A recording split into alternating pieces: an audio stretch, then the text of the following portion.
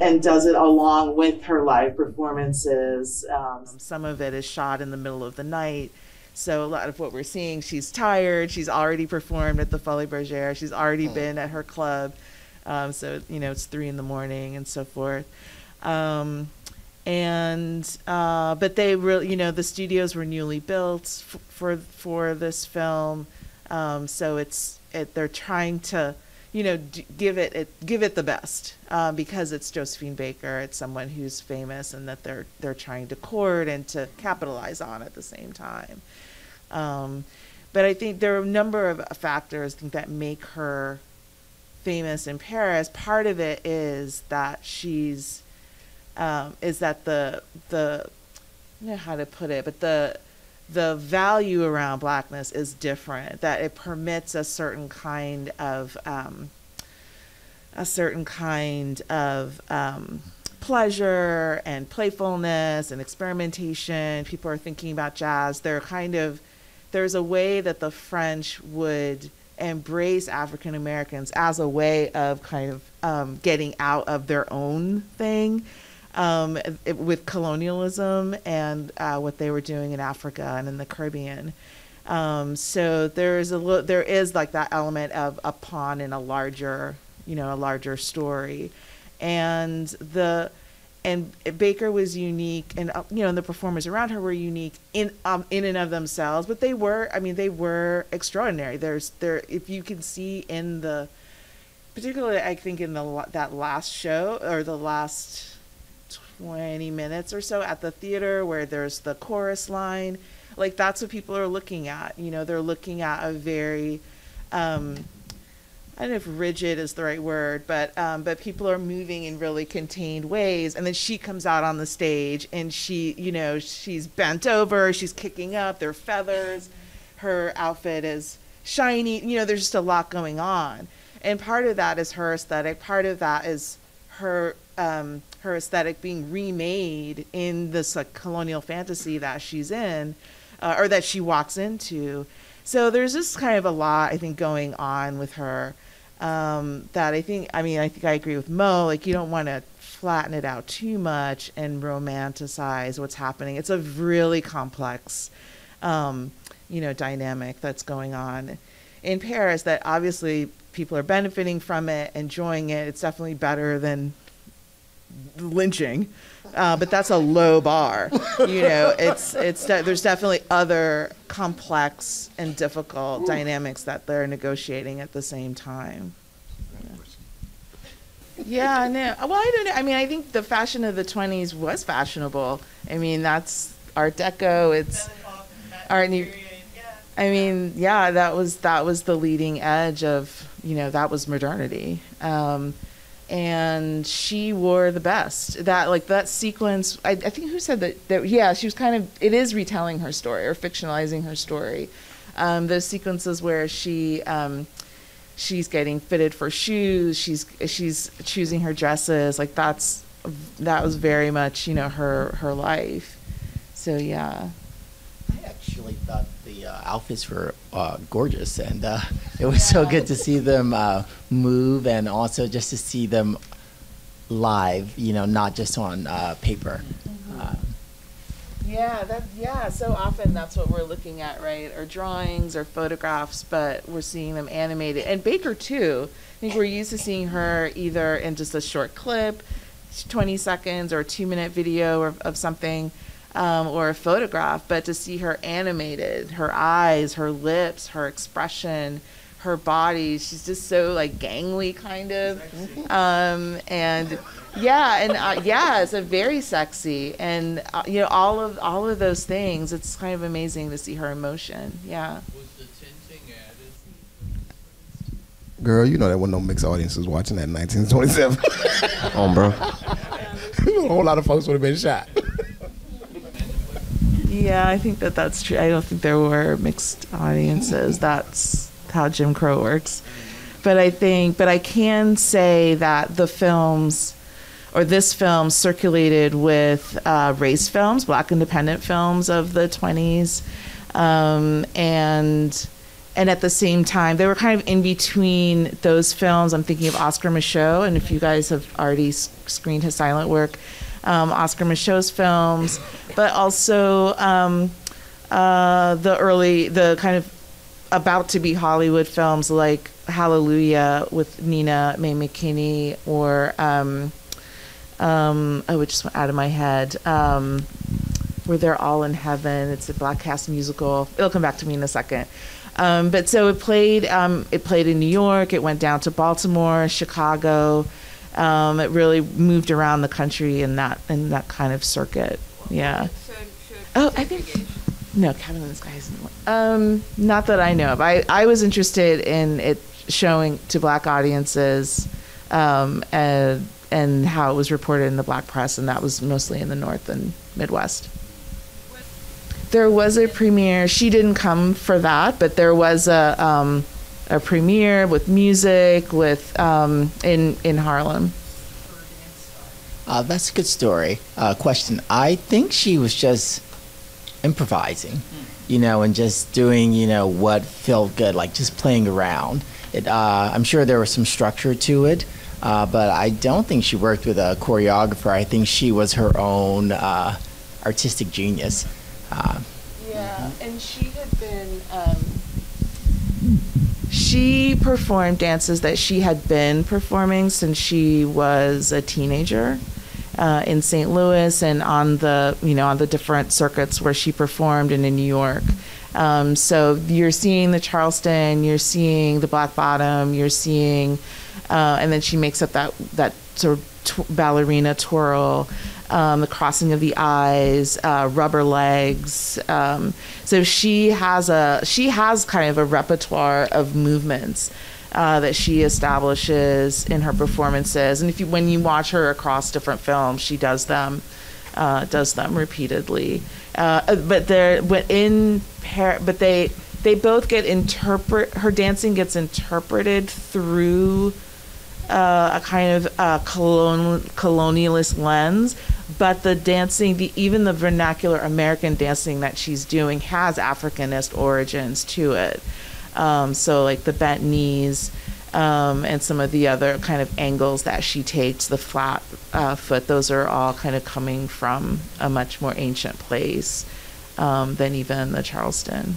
You notice the movement is very asymmetric, Yeah. and even her costumes were also asymmetric, uh, sort of uh, bent in that sort of way. Even you look at her old photographs, it's that way. And I think she's, you know, inspired movement. She sort of uh, changed the way that we experience movement today. There was a moment in the movie that I really dug. The uh, the drummer, there was a Baba. There was a Baba drumming, and he, like he had to have been someone that they just from wherever they shot this movie, like he was from that place, and he was drumming, and everybody else was trying to act, and he was not acting. he was, and he was looking at Josephine like, "Girl, what you doing?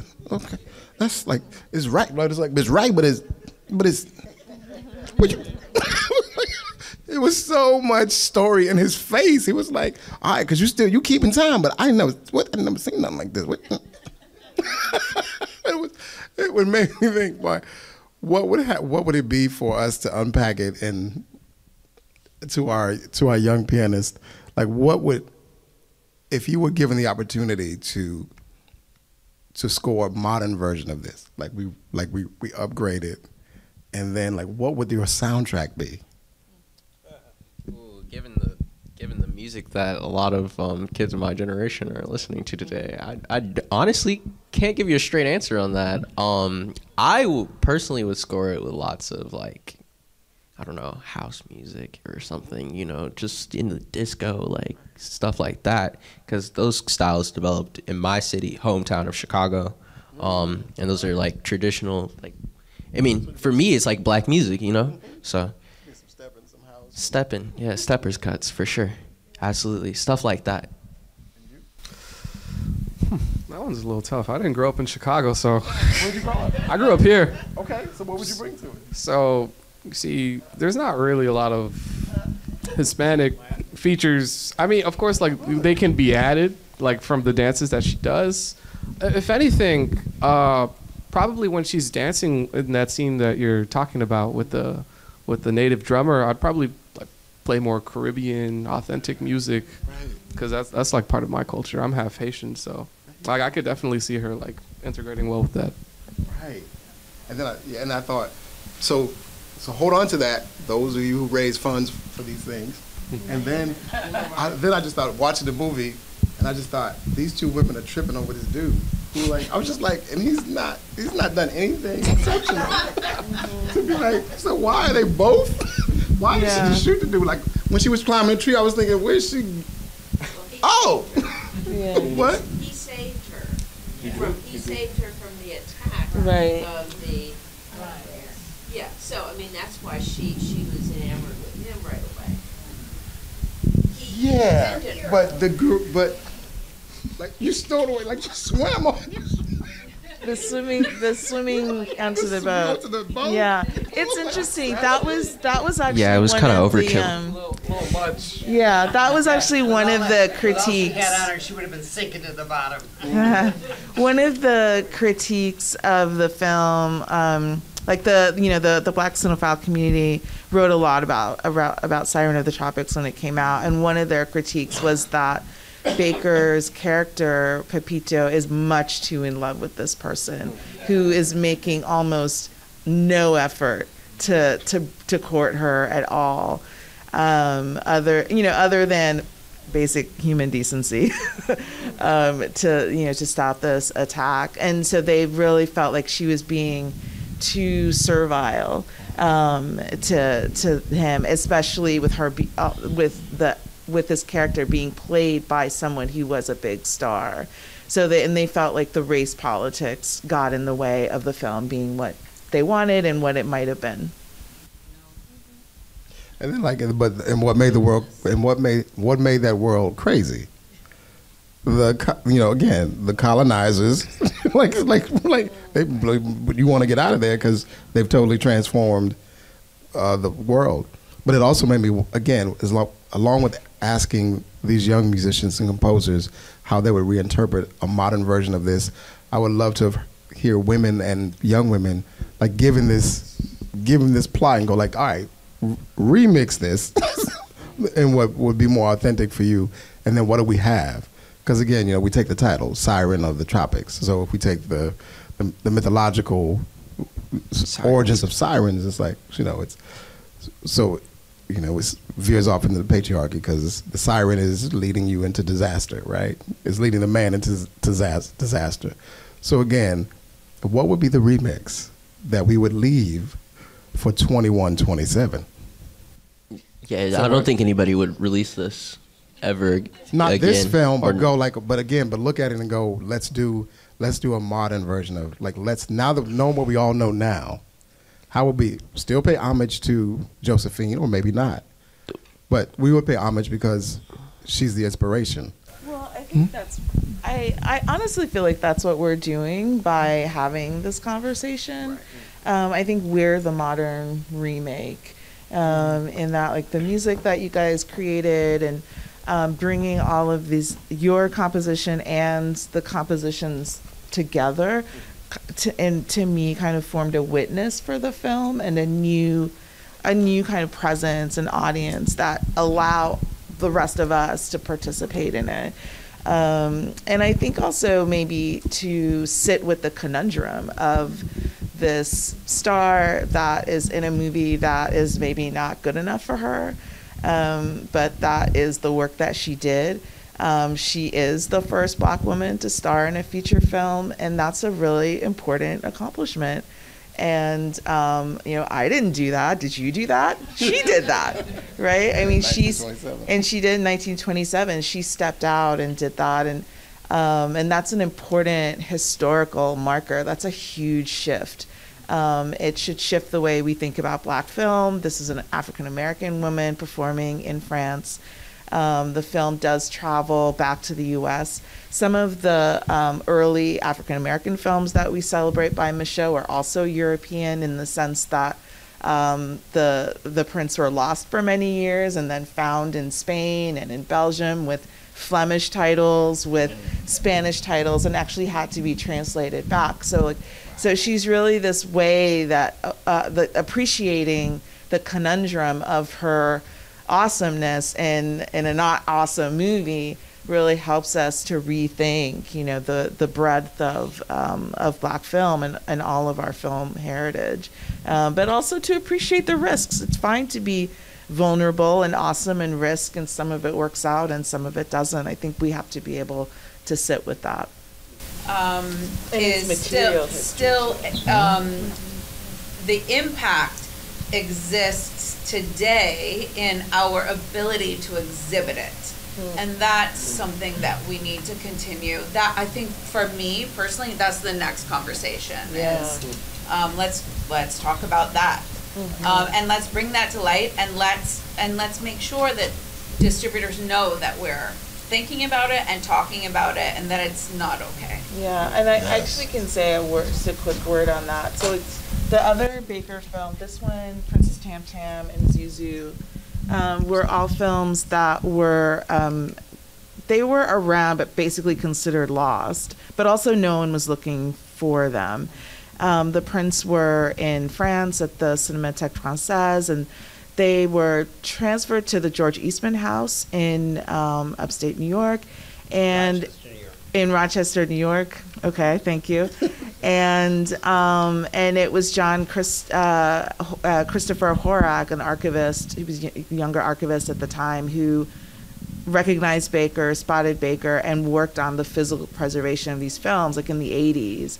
Um, and then those are the prints that Kino transferred to DVD in the 80s and that traveled around. And so there's a way in which Baker's films are still to be discovered.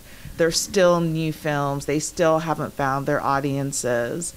Um, and the fact that this is playing here um, now is is a debut. It's it's an incredibly significant moment um, for us to be able to see it and for the film to to be seen. Um, but it's the work of archivists, and that was just that one person who just worked on recognized it, worked on it, and helped to create its importance. And then all of us, I think, seeing it and, and working on animating appreciation for the film to continue it. That's a wonderful way for us to end the evening. Would you agree? Thank you, friends. It was an honor to be here.